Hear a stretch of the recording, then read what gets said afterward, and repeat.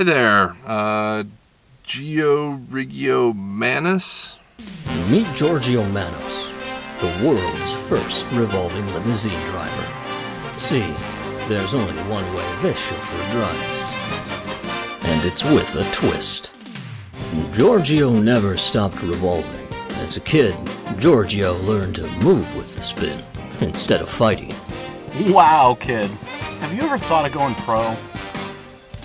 People, small obstacles, nothing could stop Georgio from twisting and turning. Georgio and Disco Sylvan are gonna go far. Home run! See, that's how you do it. Little did Georgio know that a curveball was about to land in the back seat. You're real special. Call me soon, okay?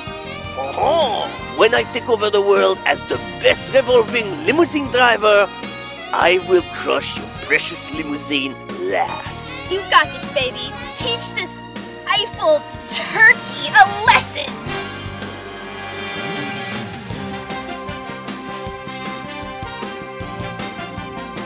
With a limo license, the world was Georgio's oyster.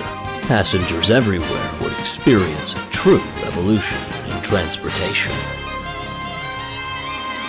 But at what cost?